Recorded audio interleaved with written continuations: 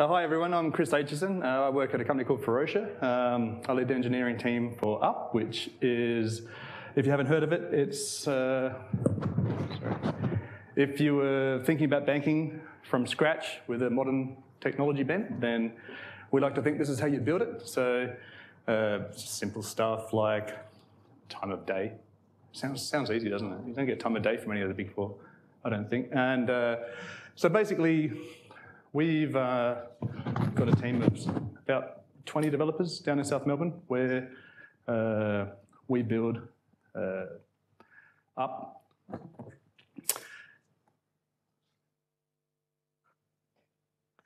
Anyway, uh, excuse me. So, data democratization.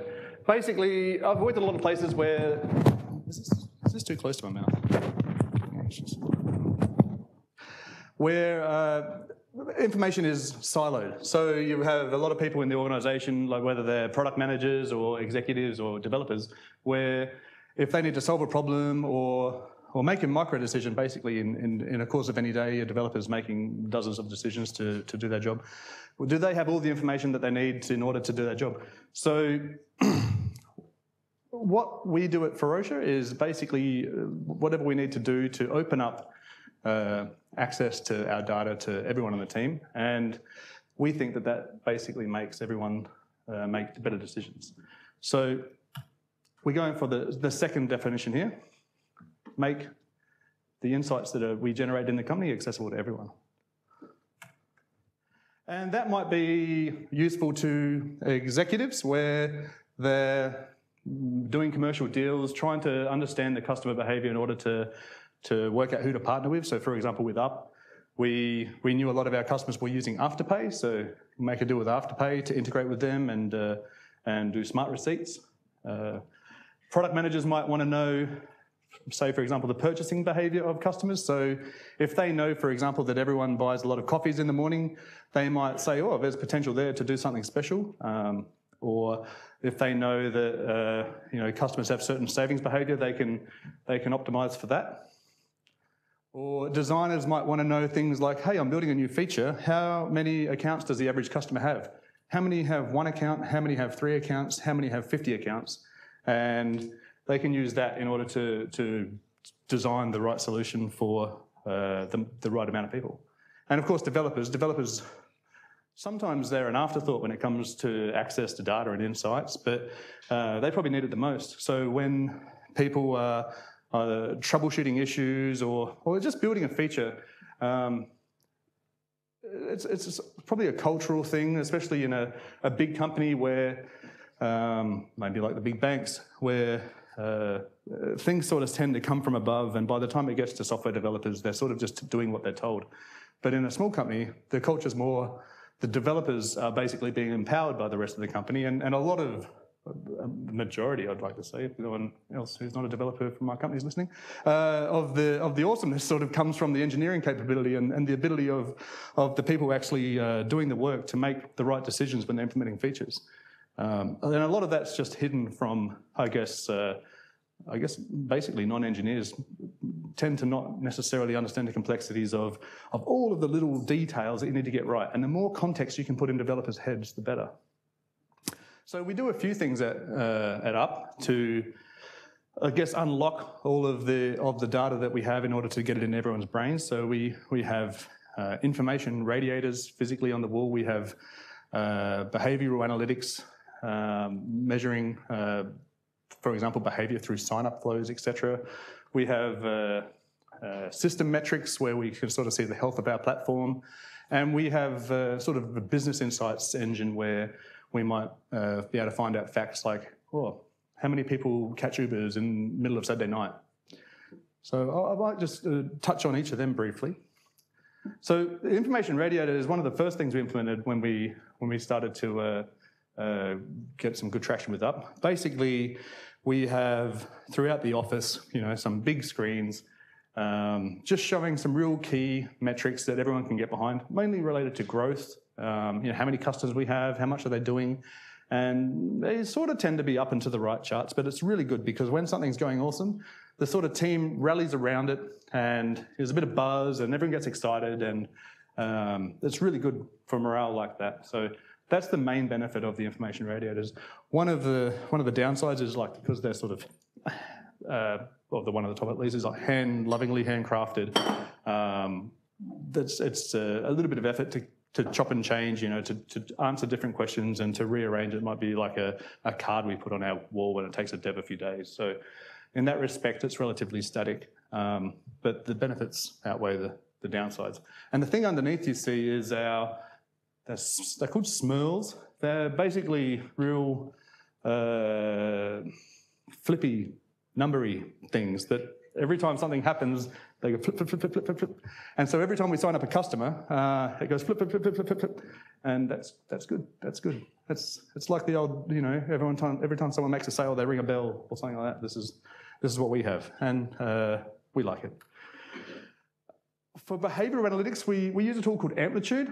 Um, and, and the key thing, I think, when, when uh, integrating with you know software as a service products for your analytics is to solve the problem of privacy, to make sure that uh, you only send enough data to them so that you can actually give access to everyone on your team. So if, if you if you go down a path of okay, I'm just going to ship all sorts of things like I don't know maybe like financials or or people's names or something like that, which you, you shouldn't do, but some companies can. We can't. We have to uh, sort of we're a bank. We have to do things uh, in compliance with a whole bunch of standards.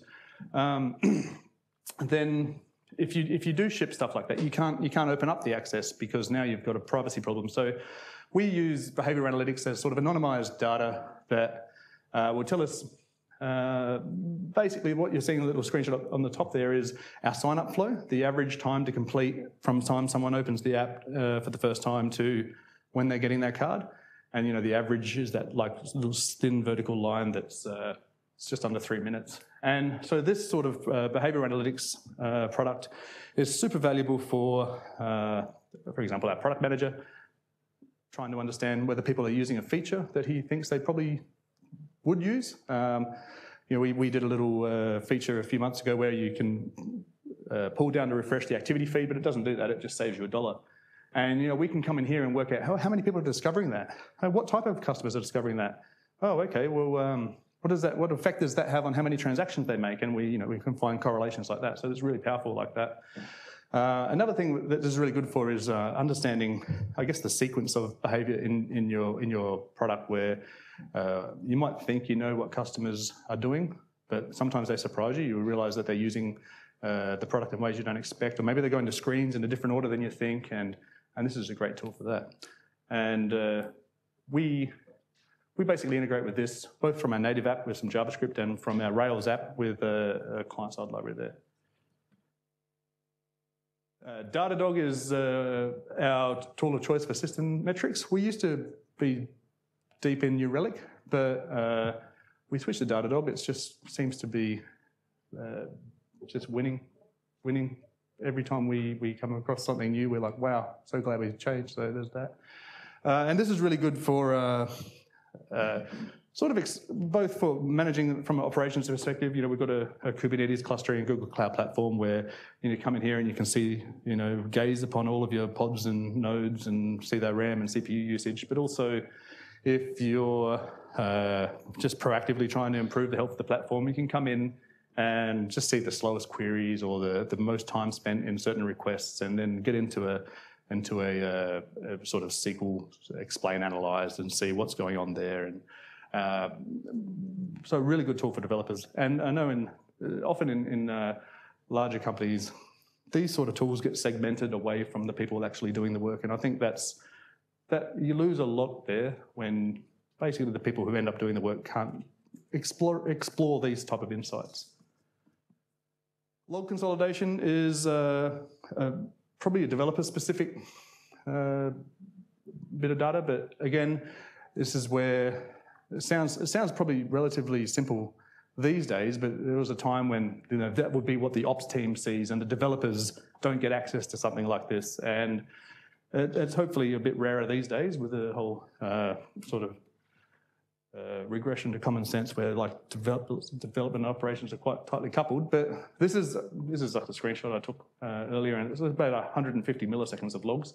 So we, we have them pouring in, and I think the key thing here is to ensure that whatever you do for, uh, for aggregating logs and, and storing them, a, make sure you can scale that because you're going to get a lot of logs if things go well. And B, make sure that you can query it efficiently. So even though we're getting gigabytes of logs probably every hour, um, uh, we can query them quite efficiently. And so that just means it doesn't matter how many we collect, we can, we can always uh, trawl through them.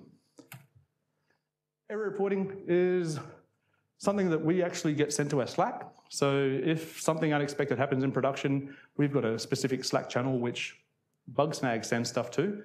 And that lets us sort of instantly get alerted when there's problems and you can mark things as resolved or snooze it or fixed, etc. And basically by having this information available to everyone in the company actually, like not that most people probably want to stick their nose in that Slack channel, but you're there and, it's and it keeps you accountable. So there's no real hiding what's going on from everyone else in the organization, and I think, I think that's really healthy.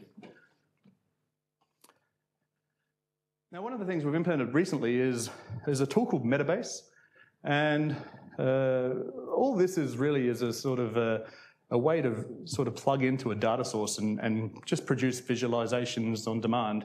And that sounds relatively simple, but when you've got uh, uh, when you're in a business like us, um, you can't just ship that really important data to a third-party service. You just you have to keep it uh, close. You can't. It's very difficult to establish enough trust with any any uh, product to sort of give it the, your core business data. So Metabase lets you keep everything on site, and uh, it lets us answer questions like, you know, who are popular merchants, or this uh, chart you see here is how many people make purchases of less than $5 from a cafe or restaurant uh, at what time of the week. So the uh, rows are days and the columns are hours, so to speak, and the size of the bubble is how many customers are doing that. So you can see these, like, you know, everyone getting their morning coffee, etc., and then sort of tails off at the end of the day. Um, so I think what we did with Metabase is quite interesting because it does solve the problem of uh, how do you basically give access to production data to your team without worrying, not worrying, but without having any privacy problems. So you could, for example, answer a lot of these questions by just saying, oh, someone just go in and, and do some do some queries in production. But that's not democratization. You'd have to you'd have to funnel that through a, uh, a sort of personal group of people that are effectively a bottleneck and they're going to have their own jobs to do. So what we what we ended up doing was uh, basically splitting off a uh, uh, another PostgreSQL database and sort of putting it in a, a separate production environment and then uh, asynchronously uh, with our, our, background jobs, uh, effectively doing an extract, transform, and load into that analytics database, which has a different schema, and never putting in any personal information. So we, we use a combination of uh, uh, a, a, gem called Multiverse, which allows you to have your active record models connect to multiple databases. So you might have, well, if you, if you basically you might have a, uh, a, model called customers and a model called analytics customers, and they might connect to different databases. So the only constraint there is you can't have any joins or foreign keys between those models if they're in different databases. But what it lets you do is just a really simple monolithic Rails code, which we love, and, um, and, and, a, and a bunch of background workers, which we effectively uh, have cron jobs, for example, that might, every 10 seconds, it might check, hey, is there anything I need to sync to the analytics database? And by stripping out all sorts of uh, personally identifiable information, you end up with a database that just has anonymized facts and numbers, etc., that can be used by anyone. So that's proven very valuable. A lot of my time uh, up until recently has been spent answering ad hoc queries from executive types saying, "Oh, how many customers have done this? How much how much money have we uh, uh, had under deposit recently, etc." And the more you can help people like that self-service, the better it is for everyone, including them, because a lot of their questions come on a weekend. uh, so I think the key takeaways that I, I, guess I want to impress upon you today is uh, the more you can trust and empower your team, the better. So a lot of a lot of the culture in, in big organizations stems from, though it's not explicit, a sort of lack of trust. Um, and also a concern for privacy. And if you can solve the privacy, then uh, your data is a lot more valuable. Also, I guess when sending data to third parties, you don't ever want to send every, anyone particularly everything. So, you know, for example, with Amplitude, we'll just send sort of anonymized behavioral data. Like we'll have these, we'll just make a whole bunch of event names up and just send it there. And for, you know, Bugsnag, we send a, a facet, and for Datadog, we send different stuff. But you don't necessarily want to send any particular third party more than you need to. Now, the loose integration is an important point because we've changed a few times providers. Like I said, we changed from New Relic to Datadog. Uh, we also changed from, uh, changed its name a few times. What was it called? Sentry to Bugsnag. So, so when we're writing our integrations, um, you know, the Ruby code that sort of sends the events or the JavaScript code, etc., we've learned now that uh, nothing's forever. Sometimes uh, vendors become either evil by really getting gougy on the pricing, or uh, not evil. It's, it's, it's, actually a good thing. It supports the ecosystem of, of, of, your, of startups starting up and sort of makes companies that are doing fine pay all the money. Um, but also, what, what, what, else can happen is um, sometimes um, companies stagnate with features, and you know you don't want to be tied to them uh, so much so that you can't sort of get on the coattails of the up and coming Um, yeah, and also plan for an increased focus on this. If you're in a small company and you and you and you're becoming bigger, this stuff becomes much more important. It's easy to um, not worry about it when you're small, and that's fine. You Don't need to. But uh, if you're ever sort of getting past the point where now you're talking to VCs for investment or something like that, then this is all they care about. I think so. They want all these metrics and insights and data, and you'll be you'll be very busy uh, if you have to sort of back back it in after the fact. Any questions?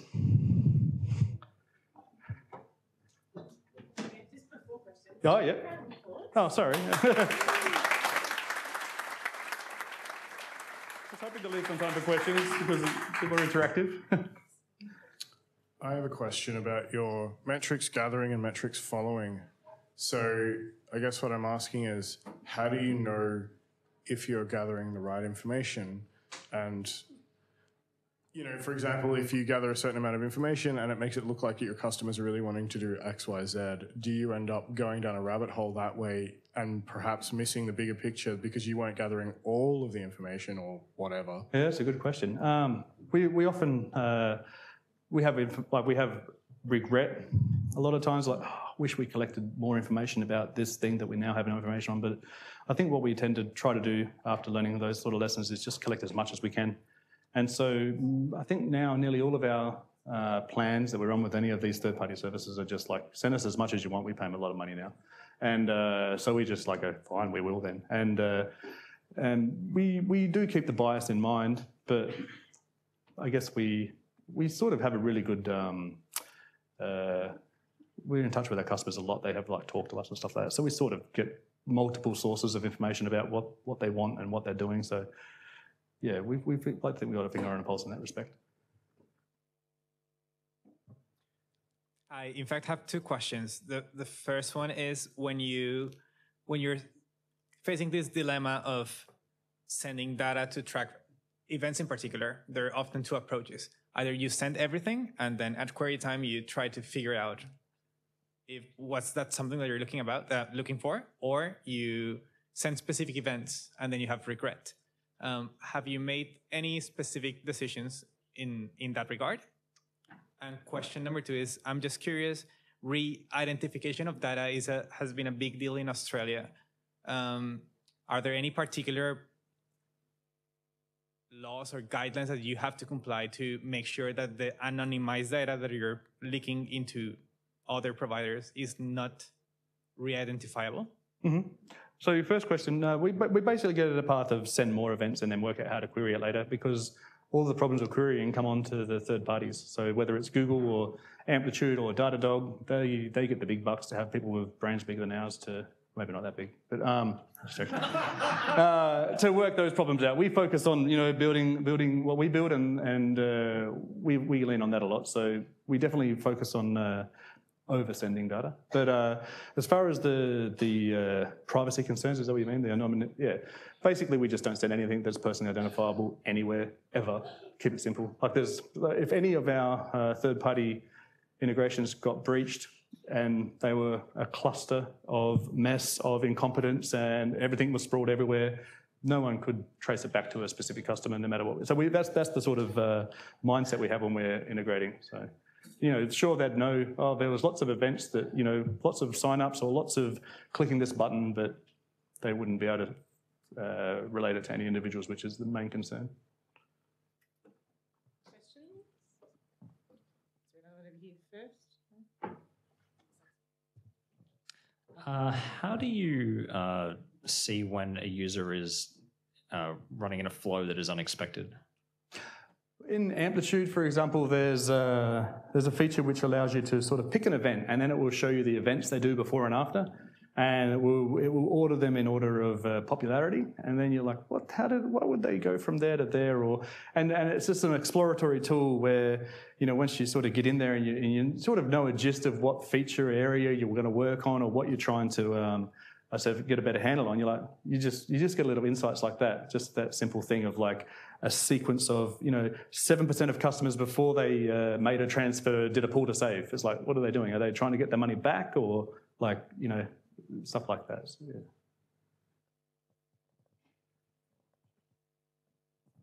Uh, two quick questions. Well, the first one's quick.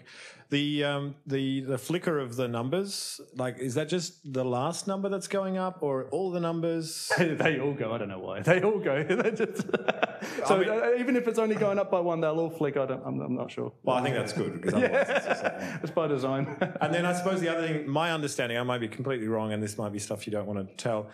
Um, up is about 30 developers, if I remember correctly, or thereabouts. How big is your data analytics team to pump this data out and do that? Is it kind of just spare dev time that uses this up, or have you kind of like said, right, out of X number of developers, we've got Y to, Yeah, to do the this? first, the first one, first one.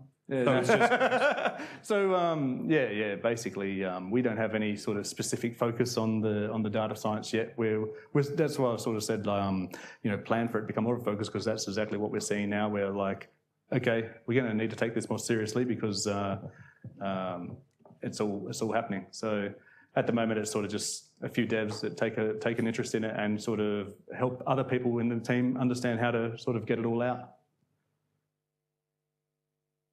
Any further questions? Let's hear it for Chris. Thank you so much. Thank you very much.